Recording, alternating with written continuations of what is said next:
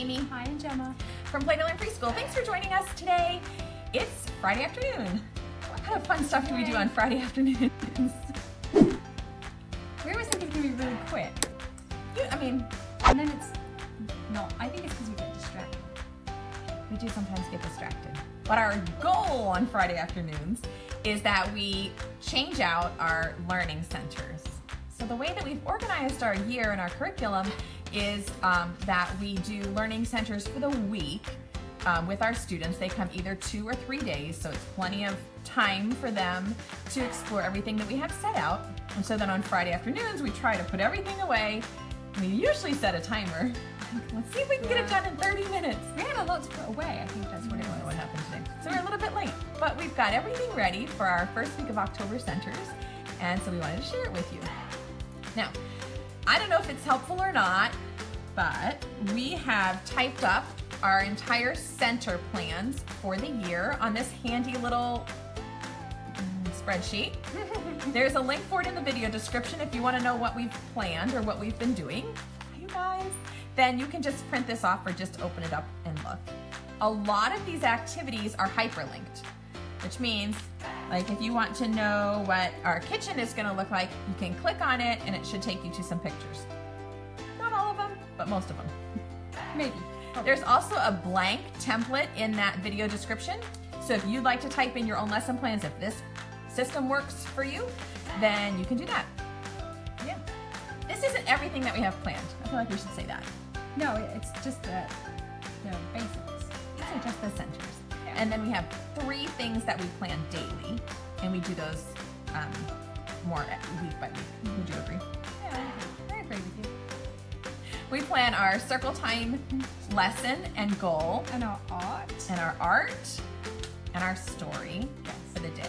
We plan those week by week. So those are not on here. No. People are always asking about that. Don't you do art? Don't you do a circle time? Yes, but these are the year-long plans. And we we I don't think we could organize ourselves enough to do every book for every week. I don't think That sounds awful. that. Maybe in another 10 years Yeah, we'll be like, we should just plan it out now. Maybe. So what we like to do with you on Friday afternoons, um, do we do art every day? We have some kind of a creation process, art, or cooking uh, set up every day for them. Yes, not a craft. Okay. No Hi, crafts. hi, hi. Just art. Yay. Okay, so what we're gonna do is just kind of walk you through our plans and give you a sneak peek, kind of like a little classroom tour. Hmm. And Jamie won't have to do it by herself this time. Two weeks I've had to be Sorry. like, set the camera up. Hi. it's like upside down. I'm here. I'm Here I gonna I'm gonna be the preschooler like I've always been. I've offered you can do the camera. No, I'm good. I'm fine. I don't mind. So we're sitting here at our round. It's a circle table that seats six kids. I would love to come to Vienna. We should go to Vienna. There's a Vienna right here, um, Daniela. There's one right here in Virginia, like five miles away. But I assume that's not the Vienna that you're talking Maybe about. In which no, she's in Austria. Oh. No, No, she's not the same. we would like But we are coming to Georgia. Georgia here in the U.S. Yes, of course. Because someone uh, above it says hello from Georgia. Hi, we're we're coming to see you in November. Okay, so what I have here is our literacy center. We usually do a fine motor, alphabet, names, I don't know what else, rhyming here at this center, and we try to we try to alternate it. On our plans, it's, it's alternated most of the time. All right, so I'm going to tip the camera down, and maybe I'll try to switch it so you can see uh, what we have here. Michelle, we're going to the NAEYC conference. That's in um, Atlanta. It's in the middle of November. We'll tell you guys more about that in a minute. All right, let's see if this will work. Sorry, my camera is all Let's put some fun filters no on. filters. Okay, so here we are at our literacy center, and everything is right side up.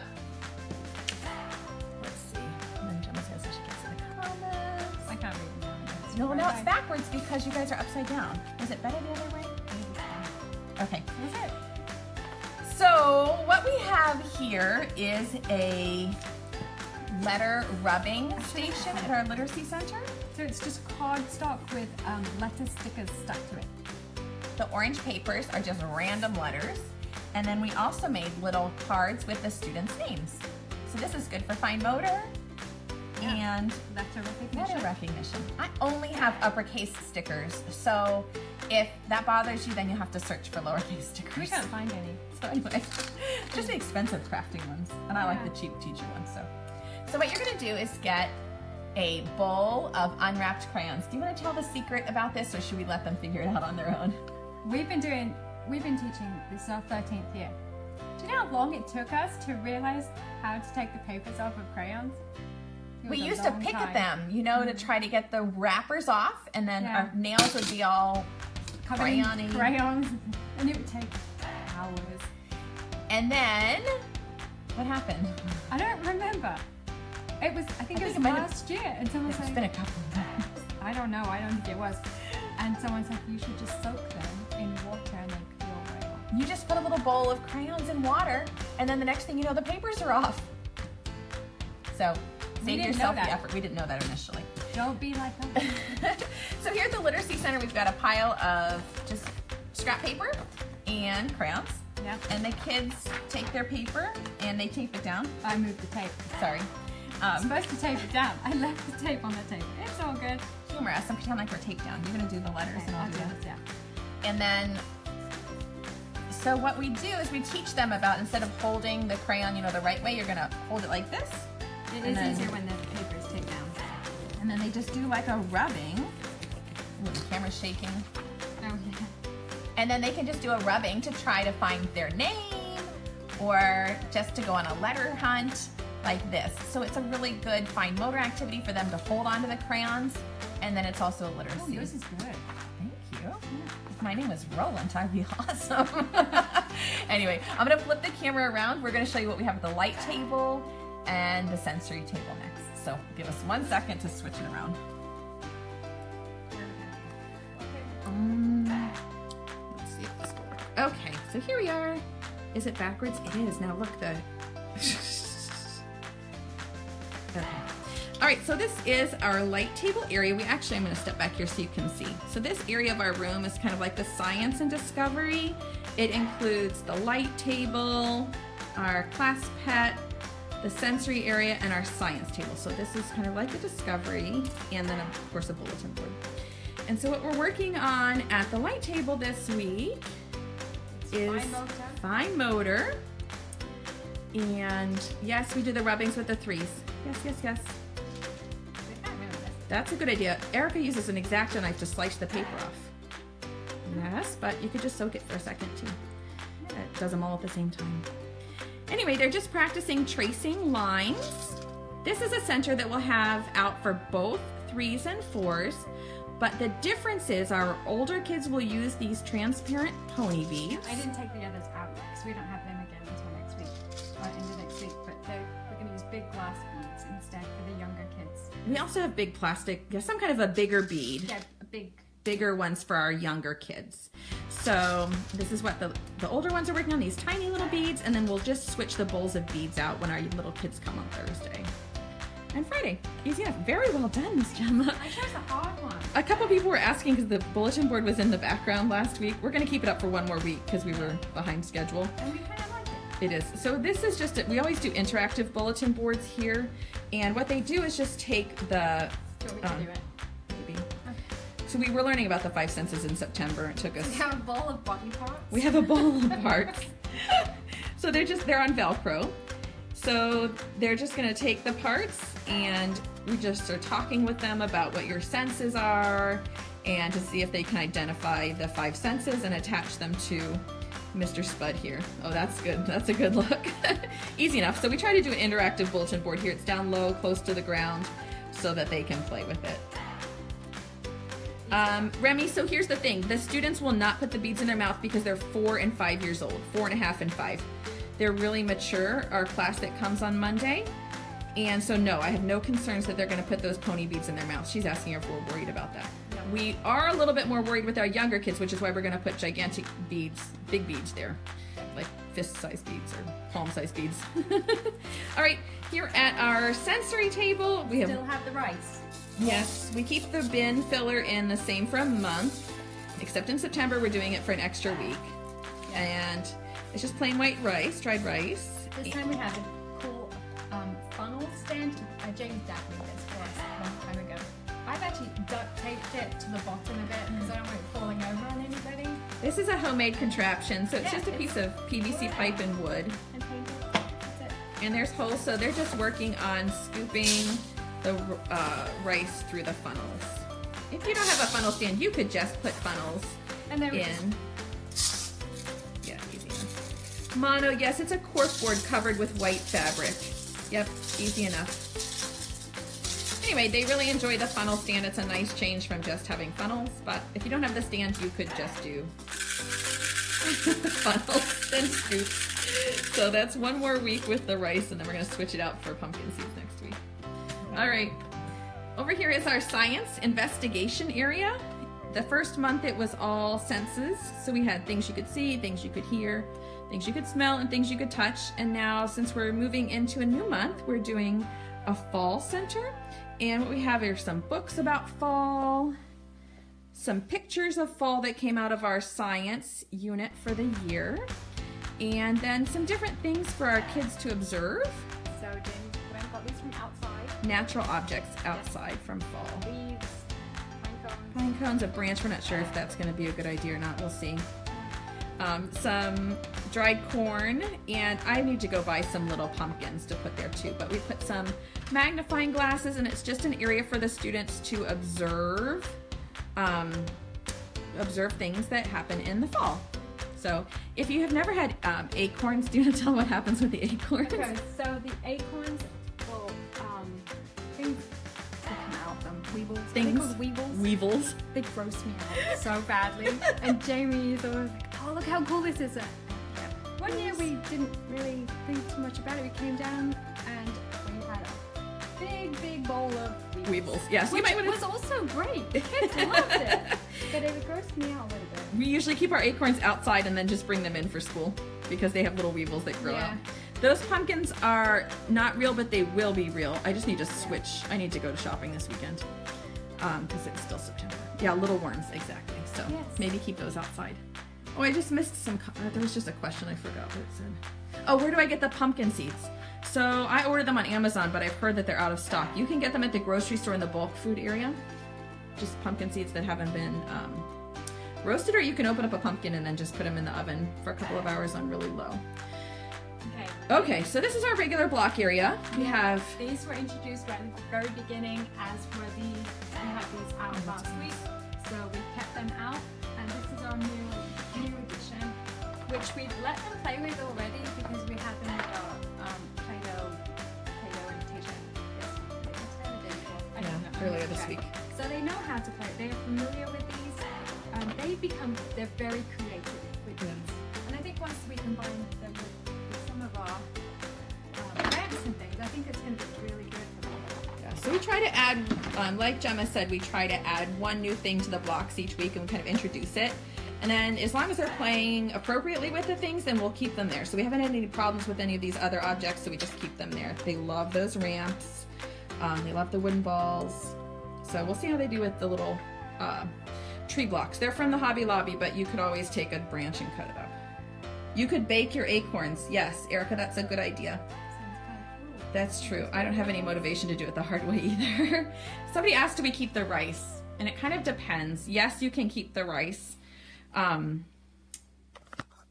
Most of the time. sorry, we feel silly talking to you when the camera's backwards like that. So, um, somebody asked, do I look really tall? You look really short.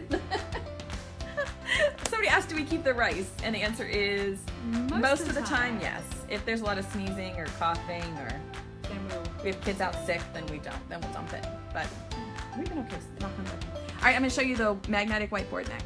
Let's see. Whoa. Sorry. So we have a box of magnetic. I don't know if anyone saw our post about how many magnetic letters that I sorted out in the summertime. Anyway, box of numbers and letters, and all they have to do is figure out if it's a letter or if it's a number. Easy enough. I should. Pro- we probably will also put a sign over there, um, like with a, a chart with all the letters and a chart with all the numbers. But I don't have that done. Story of my life. It's on the to-do list. So easy enough. Just a magnetic sorting area for them.